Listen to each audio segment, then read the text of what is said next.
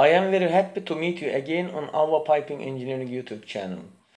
We'll continue our videos about reading pipe isometric drawing.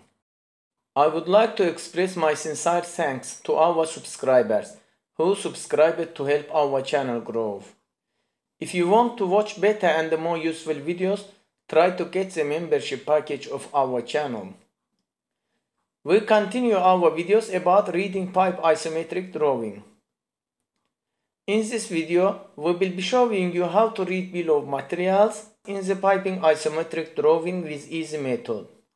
Also, this tutorial is for easy understanding. We share a fabricated spool of this pipe drawing.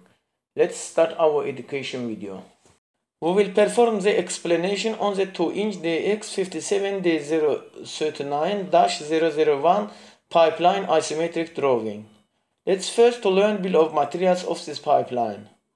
There is always table like this in pipe isometric drawing. This table is list of materials for fabrication. Item numbers, quantities, size and description of the materials shown in the next row. Let's look at item number 1 on the material list for this pipe drawing.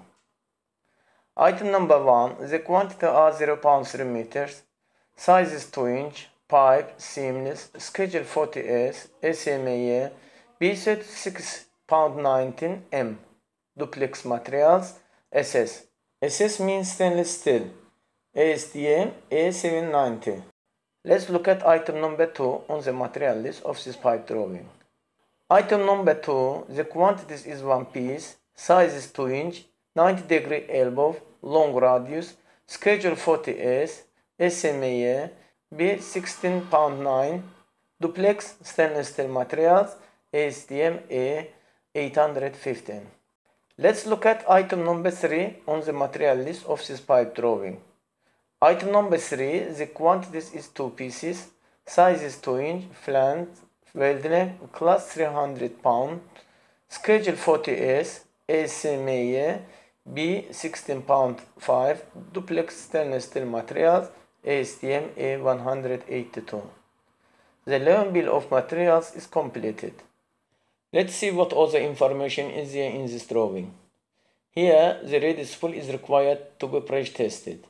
Pressure test 77 bar, test duration 0.5 hours is required for this pipe spool. Also, no paint required for this stainless steel pipe spool. In here shown that this pipe spool is made of duplex stainless steel material. This pipe isometric drawing will be easy to read and understand by looking at the fabricated condition of this pipe spool.